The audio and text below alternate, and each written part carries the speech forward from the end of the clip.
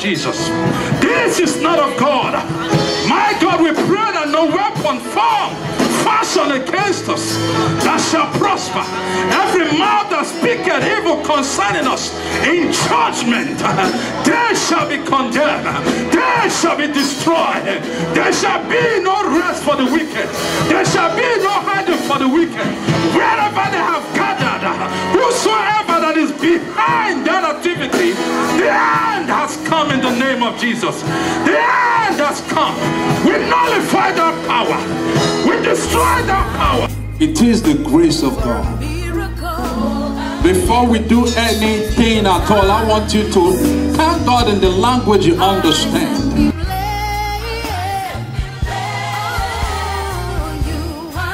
We pray that evil shall be far from you. We pray that no weapon formed fashioned against you that shall prosper. Every mouth that speaketh evil concerning you, judgment shall be condemned. Only the will of God shall come true in your life. The things of yesterday is gone. You are now a man in Christ. May God show you his ways. You shall never be broken another day of your life. Sickness shall be far from you. In Jesus' mighty name.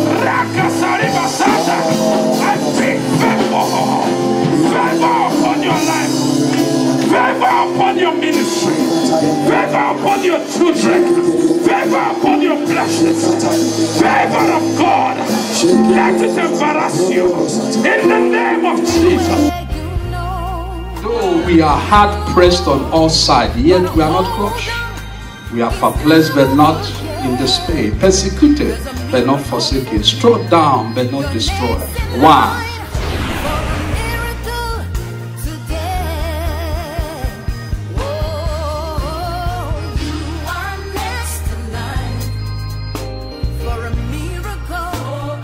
God is going to deliver you now. God is going to put that baby in your womb now. God is going to bless you now because it's set time to favor you.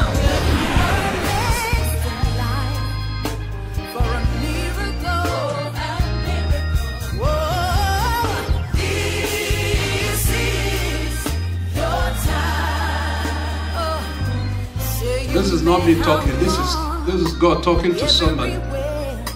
And he spoke a parable unto them to this end that men ought to always, men, men ought to always, always, always to pray and not to faint or disappoint you. If God be for you, no one can be against you.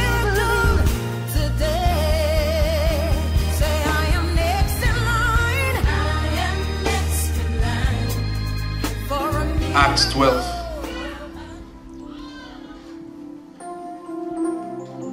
Verse 1.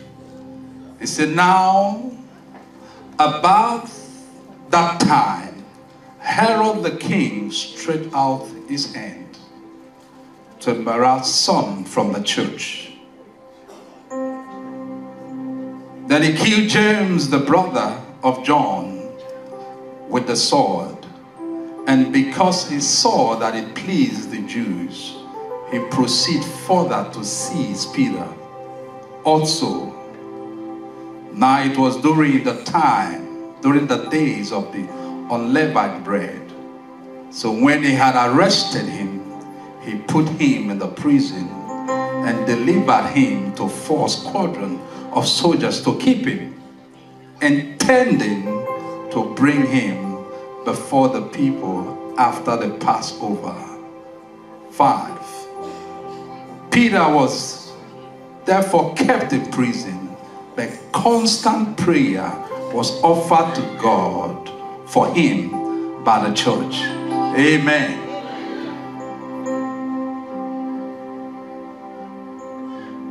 The bishop is sharing something about an enemy.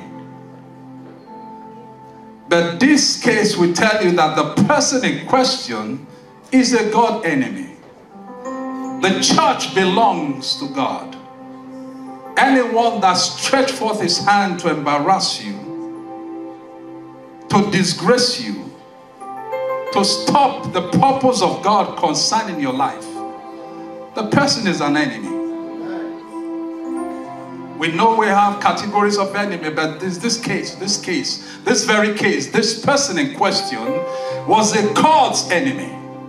He stretched forth his hand and took those that were vital in the ministry of Jesus. Those confident, and he took them. And the Bible says he killed James. And when he saw that what he did pleased the Jews, he stretched forth and took on another. I know you all know the man called Peter, the quick to speak.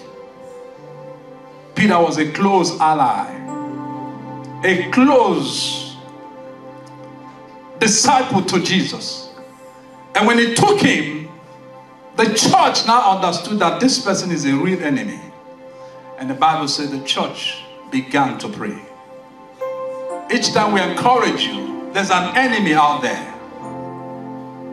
His purpose is to stop that which God has proposed for the church. He comes in a person. And the same Herod was the one that said they should go tell Jesus to leave the town.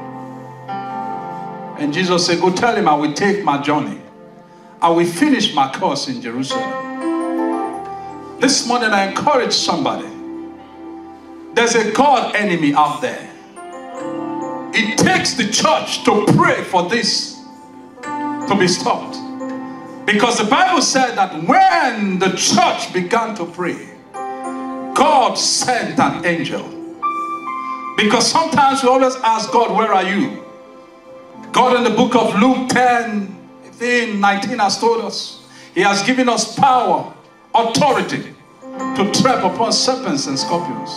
And He said, Nothing shall by any means harm us. It is in your hands to pray. It is in your hands to stand in the gap when you see an enemy coming in. An enemy has entered the church. God said, For this cause shall a man depart from his father and go to another family. And there he will pick up a woman and not a man. Then we have a case right now that the same sex has been approved. And that is an enemy to the body of Christ. The church need to pray. The church need to say, this is not of God. The church need to stand up because this is an enemy. In any way he came, this is an enemy to the body of Christ. That's the way it is. And when the angel got there, he said, Peter, I have come. He said, Peter, put on your sandals and let's leave this place. Don't forget when the enemy kept Peter, the Bible said he was intending to kill him after the Passover. Any evil handwriting that has been written concerning you from your father's house, from your mother's house, I cancel it in the name of Jesus. May God send an may God send an angel. May God send an angel to destroy every plans they have concerning the church. That is why we say, come for prayer meetings. When the church prayed cooperatively, something happened. Let me tell you a little bit about who James and John is. James and John were called the sons of thunder. James and John, mother, at a point in time said to Jesus, Jesus, I wish that two of my sons can be one on the right and one on the left. That was the quest of their mother.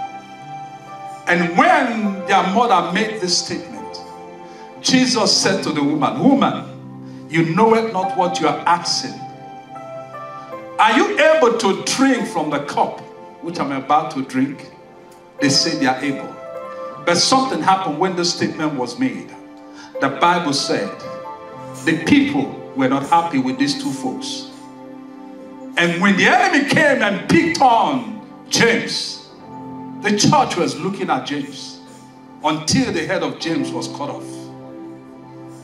Sometimes in love we can fight the enemy. By faith we are able to defeat the enemy. And when there is misunderstanding, divided we fall. But united, we will always stand. I pray that God will help us to stand, to celebrate one another, to be there for one another. When the enemy comes in like a flood, that we are able to stand up and say, Not this place. May God bless you this morning. May God help you to pray without ceasing because it's the wish of the Father. It is our duty to speak. When you see a situation that is bad, talk to God. And God will always send an angel to rectify the case. And the man called Peter was delivered. And he said, Now I know that God has sent an angel to deliver me from the hand of Herod, which was an enemy. May God bless you this morning. You shall finish your course. You shall finish your purpose. This I pray for you. In Jesus' mighty name.